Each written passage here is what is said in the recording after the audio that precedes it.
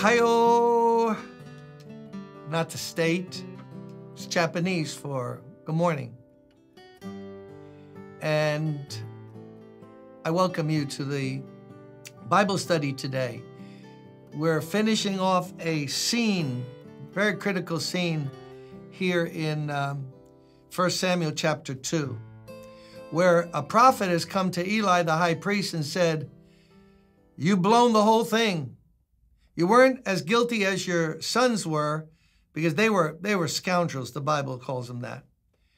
They were stealing the offerings due to God and messing around with the women, taking advantage of them at the gate of the tabernacle. So,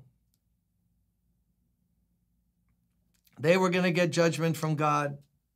And God tells Eli, You let them, you look the other way. You omitted to correct them and get them out. So you're going to lose now your place of privilege as your family as the high priest. And now, still going on, verse 34, chapter 2. And now what happens to your two sons, Hophni and Phinehas, will be assigned to you. They will both die on the same day. God says, You're going to know this was no accident. Because you looked the other way and you let them carry on like that. That's why we have to correct our children, even though they're our children. When children are wrong, they're wrong. You ever be around parents who they let their kids do anything, and if you bring it to their attention, no, Johnny never did that. It's nauseating, right? And you're not doing your child a favor. They're going to grow up, not be able to adjust to real life where people won't put up with their nonsense. They end up friendless. So now God has said it's going to happen on the same day. Both of them will die. But I will raise up for myself a faithful priest, probably referring here to Samuel, who will do according to what is in my heart and mind. I will firmly establish his priestly house, and they will minister before my anointed one always. Then everyone left in your family line will come and bow down before him for a piece of silver and a loaf of bread and plead, Appoint me to some priestly office so I can have food to eat. In other words, all of your privileges which you abused, now you're going to lose them. And your posterity is going to pay for your bad judgment. Notice what God was looking for. This is going to happen twice in this book of 1 Samuel. It's going to happen here of Samuel. It's going to happen later when Samuel anoints David to be the first king. Notice what God says.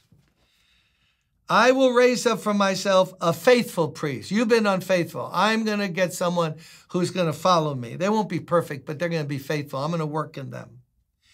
Who will do according to what is in my heart and mind.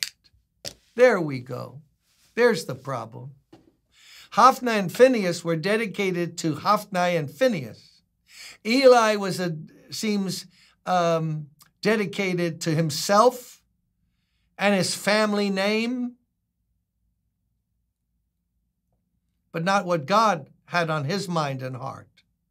So God says, I'm going to find someone who will be searching for my ways and want to say what I want said, do what I want done who will understand my heart. Isn't that happening right now today? He doesn't want churchgoers only. He Christ is building a church where people will know the ways of God, the heart of God, the love of God, and express it. You can go to church on Sunday and express during the week nothing of the heart of God. Be mean, selfish, proud, racist, cheap, not generous, not forgiving, and that's always been the battle to find pastors who have a heart after God's own heart. Did you know that Paul in Philippians says, I'm going to send Timothy to you, to the church at Philippi? I have no one else like him. You know, Timothy was his spiritual son. I have no one else like him. Speaking of his own ministry team, Everyone else speaks, I'm sorry, Everyone else seeks their own interests and not those of Jesus Christ. No, no, let me try that on.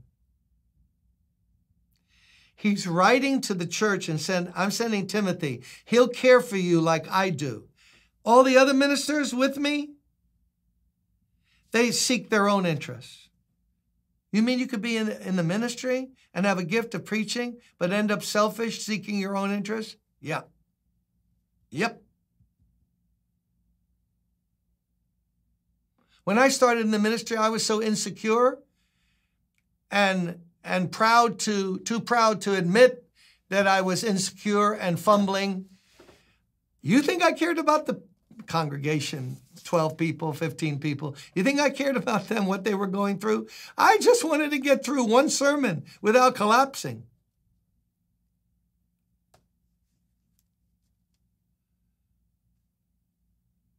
Why? Because I'm thinking of me. I'm thinking of God and his feeling toward the people.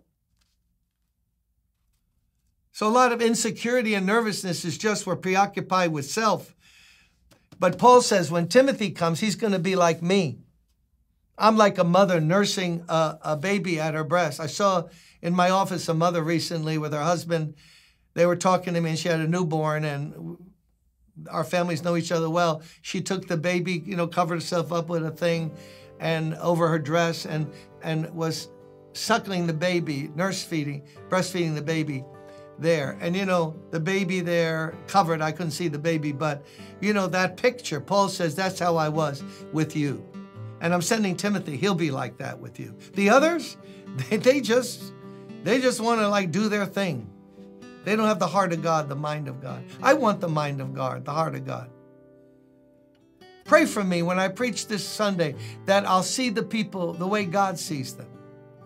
That at our conference, Fan the Flame, on April 21 through 23, that God will Im- imprint on us His thoughts, His feelings about people. I can't have it on my own. I'm just a selfish guy. But I'm a Christian, which means I have Christ in me. And that means the Holy Spirit can work in all of us and make us different.